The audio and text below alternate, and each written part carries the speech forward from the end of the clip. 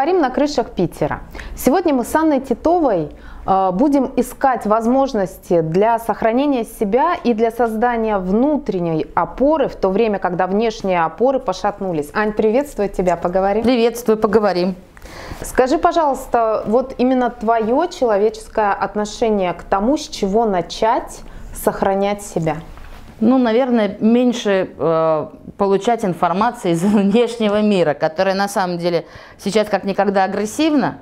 И, э, ну, действительно, надо ограничить количество поступающей извне информации. Ну, вот, на мой взгляд, это такая вот э, очень во всяком случае, со мной это хорошо работает. Но ну, ограничить это не значит совсем исключить. Ну, конечно, ты же не можешь выпустить из, из мира вообще, да, то есть как бы отключить все средства связи, так, не, так и не получится в современном мире. То есть на самом деле а, это очень хорошая история, которую э, я подслушала у своих подруг, и, в общем, э, тоже так иногда делают. Действительно, это называется цифровой детокс. Угу. То есть, э, ну, понятно, что лучше это делать в выходной день, когда ты, в общем, ну, там, не сильно нужен по работе или, в общем, ну, такое. То есть я просто уезжаю куда-нибудь, например, за город, на дачу и отключаю телефон, все, просто отключаешь телефон, вот в, в, в авиарежим. Все, то есть для тебя то, я, я не могу совсем отключить его. Почему? Mm-hmm. Потому что я читаю книжки в телефоне. Mm-hmm. То есть вот как книжку его использовать можно. Но лучше взять, чтобы не было соблазна, отключить авиарежим и э, включить, то лучше взять бумажную ну, Скажи, книжку. вот это вот у нас же все равно уже такая почти наркотическая зависимость. Это действительно наркотическая. И вот эта ломка когда прекращается? Я, я, она, э, на самом деле, есть люди, которые не могут этого mm-hmm. сделать, то есть вот они уже цифровые наркоманы, очевидно, ну как бы очевидно. Потому что, ну, я даже таких знаю, то есть это вот они не могут расстаться со своим телефоном больше, чем на 15 минут. Даже, мне кажется, на 15 минут невозможно. Угу.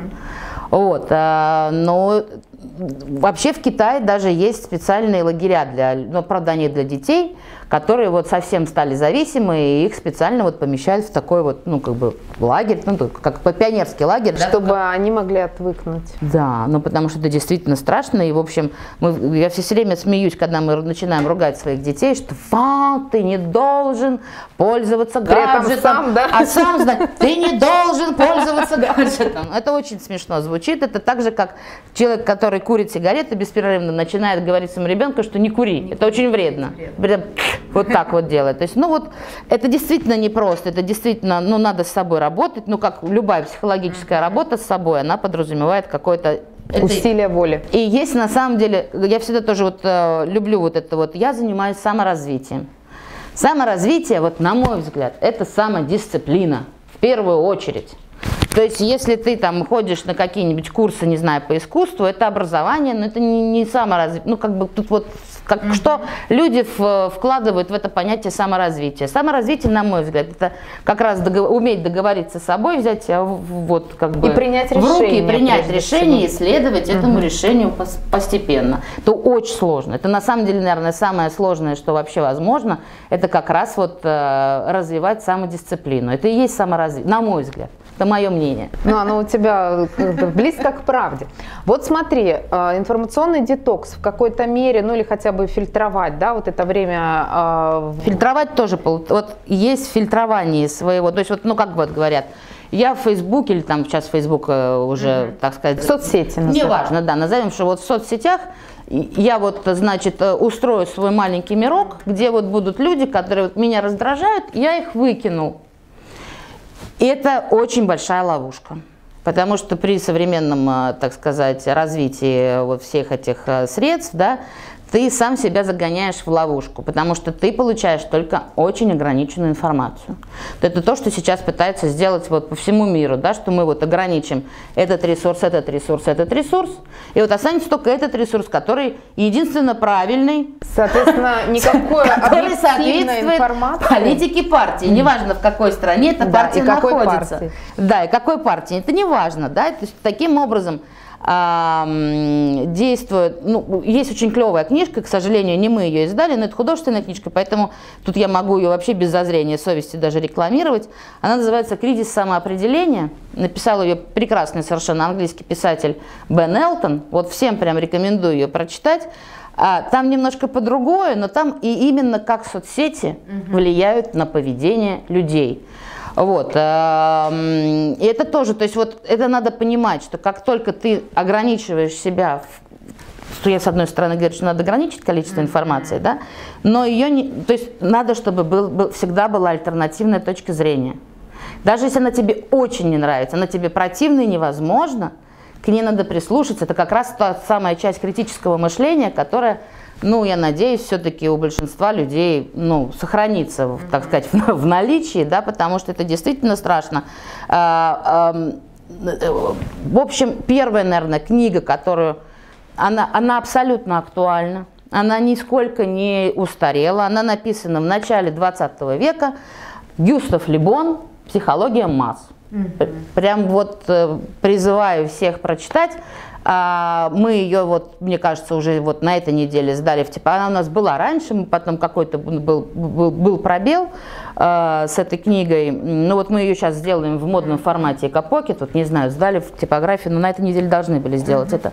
То есть ее можно вот купить. Ее, в принципе, мне кажется, можно везде найти. Она много издательств ее издает. Это э, уже тот автор, который из-за того, что давно умер, его могут все, собственно говоря, там уже нет авторского права, поэтому его все могут издавать. Но на самом деле вот именно на этом исследовании еще есть второе, пропаганда, называется она, э, пропаганда Эдвард Бернейс, да. который, между прочим, двоюродный то ли племянник, то ли дядя, каждый раз путаю, Дигмунда Фрейда. Mm-hmm.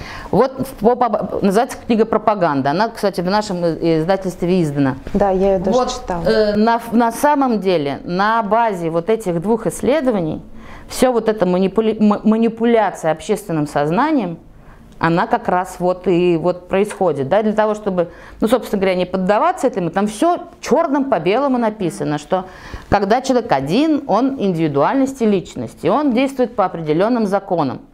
А когда толпа, то есть масса. Причем э, толпа, ну, у Либона это считается, что это вот когда на, на улицу вышло там 100 человек, вот это толпа, да, но на самом деле эту толпу можно создать и в соцсетях. Конечно. Вир, так называемая виртуальная толпа, да.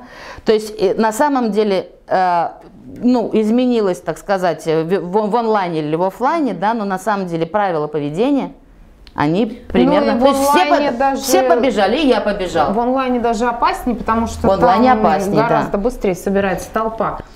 А, если а, говорить о том, что еще можно предпринять, какие-то, возможно, психологические практики, э, какими-то знаниями, которыми не обладает простой человек, да, не будучи психологом, что он ну, может... Уже, мне кажется, последние, не знаю, 20 лет точно, но на Западе точно, у нас, наверное, может поменьше, а, очень э, много говорят про медитации.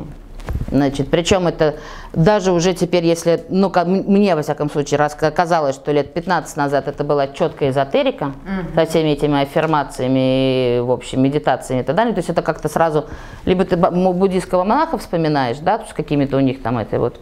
вот. Э, но на самом деле, в общем, э, с развитием всего этого, то есть сейчас уже нейропсихологи в основном говорят о том, что действительно есть определенные практики, это дыхательные практики, это всякие ментальные практики, об этом есть просто невероятное количество книг. У нас, вот, кстати, есть хорошая «Мозг Будды» называется, чудная книжка, там как раз про это все написано, что, условно говоря, как вы к проблеме относитесь, так эта проблема относится к вам. Как красиво. Ну, условно говоря, в общем, это соответствует э, там, законам оптики, да, угол, э, угол падения равен углу отражения. Ну вот реально, то есть тут как бы такая интересная история, то есть оно вроде как изначально кажется такое что-то мистическое, в общем, что такое эзотерическое, а на самом деле, ну вот э, все-таки законы физики, они работают и здесь. То есть, ну, условно говоря, радоваться каждому дню. Ты живой, у тебя есть крыши над головой, а, есть что есть, близкий с тобой рядом, что тебе еще надо-то, условно говоря, да, то есть вот, вот, вот эти вот какие-то мысли, мне кажется, они должны, в общем, ну, поддерживать нас. Но это вот то самое чувство благодарности, которое Абсолютно. мы разучились вообще испытывать. Абсолютно, да, да, то есть э, мы, в общем, ну, во всяком случае мы сейчас, да, вот здесь mm-hmm. находящиеся, а у нас есть крыша над головой, у нас есть там горячая вода, в общем, одежда, еда, и даже пусть какой-то еды мы лишены, но ничего страшного, это тоже хорошо. Конечно. С какой-то стороны. Излишество никому не... Вообще, в принципе, вот мне вот кажется, что это применимо вообще ко всему абсолютно. Должен во всем быть баланс. Вот должен быть баланс в информации. То есть нельзя вот в себя, вот, вот э, я просто за собой тут заметила, что я вот куда-то залезла, да, и это же как, это тебя прям туда затягивает. То есть ты один ресурс открыл, другой ресурс, и, дык -дык -дык -дык, и все, и тебя засосало, и ты утонул вот так вот по уши вышел оттуда, думаешь, господи, а зачем? То есть прошло два часа, зачем я эти два часа вообще потратила на вот это? И что я, а самое главное, что я из этого приобрела? Ничего. Кроме тревоги, Н- Ничего, да. А, значит, э, недоумения. вот ну, так как мы издаем психологические книги, мы видим, что вот последние, ну понятно, это, это началось, наверное, даже началось раньше, чем с короны, ну потому что, в общем, мы все живем э, в, в такой агрессивной среде в виде большого, ну как бы не все, но большинство людей все равно, особенно, которые нас, наверное, смотрят, живут в агрессивной среде большого города. Это действительно агрессивная среда, она ничего хорошему человеку не дает. Плюс, значит, вот эти вот еще соцсети, интернет, и это все, значит, оно туда добавляет. И у человека не остается времени, собственно говоря, на себя. Поэтому вот, вот хороший, тоже такой вот, помимо того, что ограничить количество входящей информации, заняться любимым делом. И это не всегда работа, это именно какое-то хобби. Или работа может быть любимым ну, делом? Ну, понимаете, тут тоже тут есть такое, такая опасность. То есть трудоголизм – это да. тоже очередной вид наркотика на самом деле. И это как раз просто способ закрыть себя от внешнего мира. Ну, в общем-то, да. То есть помимо работы все-таки должен быть, то есть недаром есть русская, не знаю, всегда путаю, что пословица, что поговорка, значит, делу время, потехи, потехи час. час. Вот не надо забывать про потеху. И про этот час. И про этот час. Понятно, что это не должно быть там 90% вашего времени. Опять же таки, делу время, потехи час. Вот. Но кто любит читать книги, как я, могут читать книги, причем желательно какие-нибудь отвлеченные темы. Но можно художку тоже почитать, она вообще прям прекрасно ну, фильмы посмотреть, в конце концов, много кто любит этим заниматься. Рыбу пойти половить, да, вообще созерцательно. Вот, спортом заниматься. Кто-то спортом, да. да. Йога очень хорошо, кстати, помогает, потому что это э, все-таки такой синтез и физических упражнений, и умственных на самом деле, потому что там очень много про всякие дыхательные практики, про медитации. Самое главное, туда далеко тоже не уйти, а то не вернешься. А как вот преодолеть вот этот вот, сейчас э, модно говорить такой термин, как испанский стыд, что когда кому-то плохо, имею ли я право вообще себе доставлять удовольствие? Вот на что здесь опереться? Понимаете как? Это такой очень интересная такая вот история, да, а, когда вот ты говоришь, что мне за кого-то стыдно. Ты при этом а, испытываешь удовольствие от того, что ты такой хороший. Мне кажется, это очень лицемерное чувство. Вот почему-то мне так кажется что это, ну, такое лукавство с какой-то точки зрения. То есть это какое-то стремление, как это, приобщиться к чему-то большому?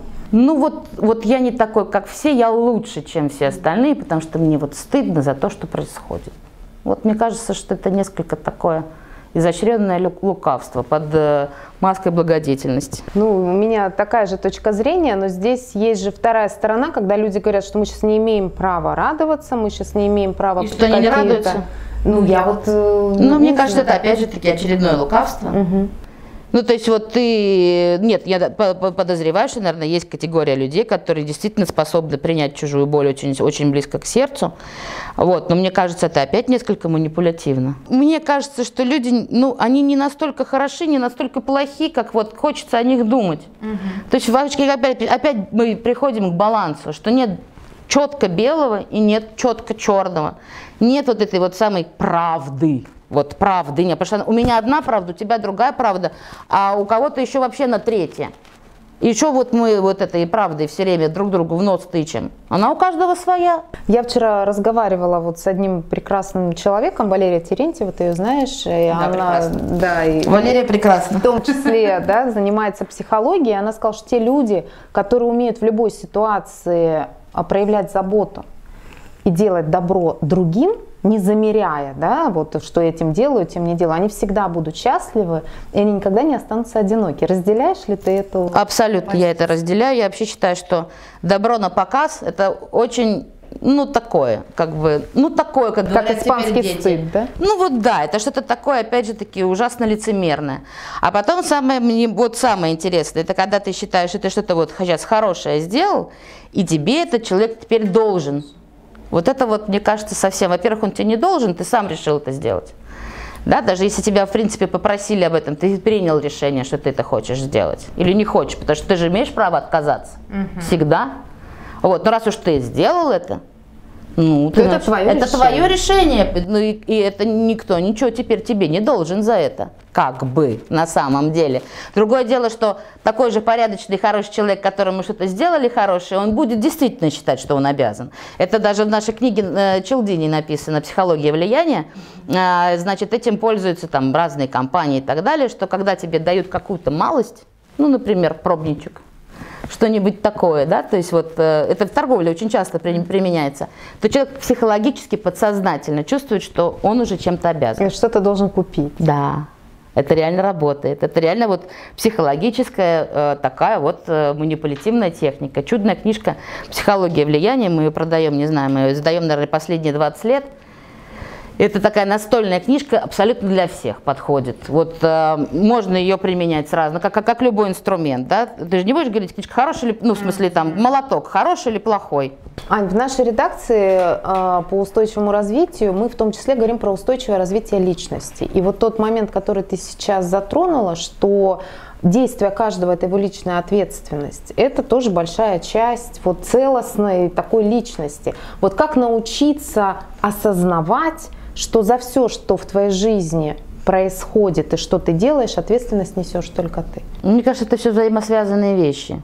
То есть как только ты понимаешь, что есть вообще в этой жизни природная, причинно-следственная связь, для этого надо, в общем, ну вот раньше в школах изучали логику. Uh-huh. Сейчас, к сожалению, ее не изучают, но на самом деле наука очень интересная, очень полезная, потому что э, любое как бы, действие имеет последствия. И когда человек, мне кажется, вот это начинает осознавать, ну, есть, э, в общем, для этого много книг. Опять же таки, математика очень э, способствует вот этому, логические задачи на логику, да, они очень способствуют развитию вот этого вот понимания, что если А плюс Б будет равно вот как бы, ну, как бы вот. И на этом все основывается. И мне кажется, что вот из этого вот понимания, а, э, э, ну, опять же таки, это, это вот, вот когда ты понимаешь, что одно тянет за собой другое, да, это с, с одной стороны.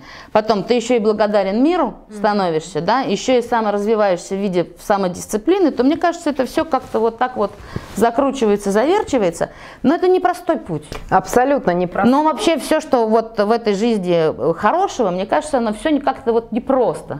Это, знаете, это как вот вся вкусная еда, она вредная да. А вот шпинат и что там еще? Которое можно есть сколько угодно, Ну вот оно как-то не хочется, да. И также вот со всеми вот историями. То есть очень легко и просто пойти за кем-то, да, не иметь своего мнения, потому что за тебя все решили. Это же намного проще. Потом обвинить.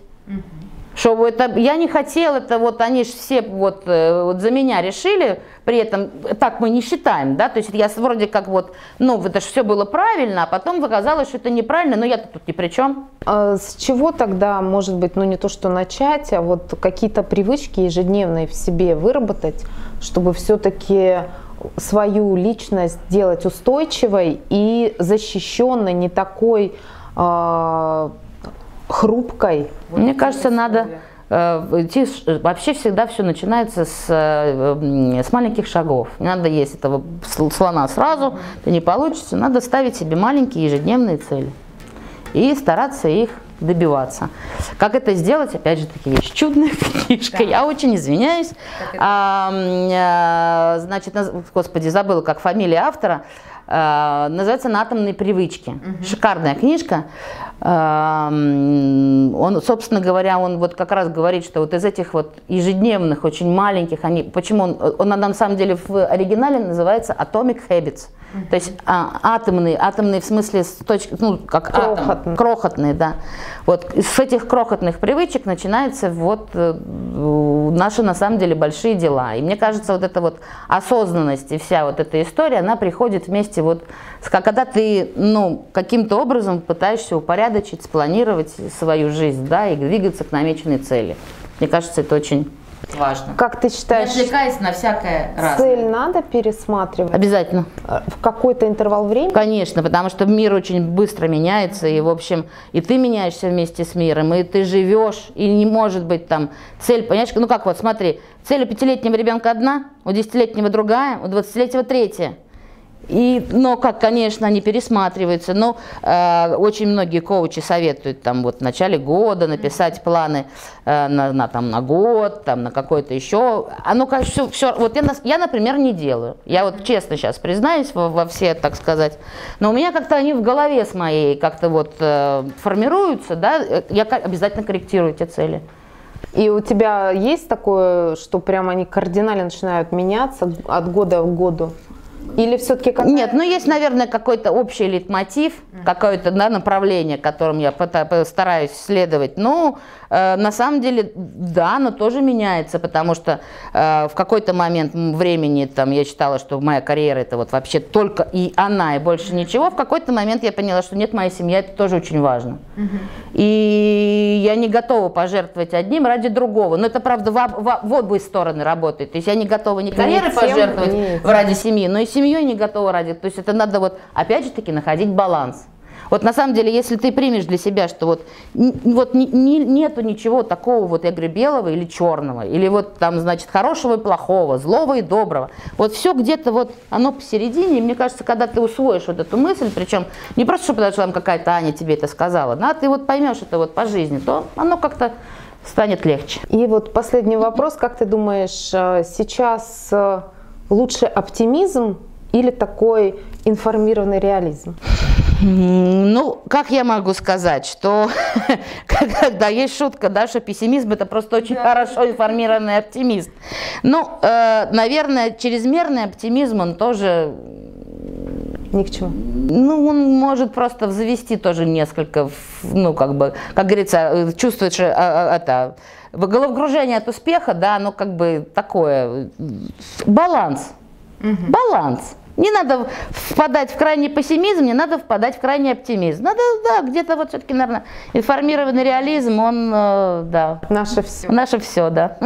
Ань, спасибо тебе огромное. Вам спасибо, что оставались с нами. И старайтесь сохранять баланс в любое время. Абсолютно. Спасибо.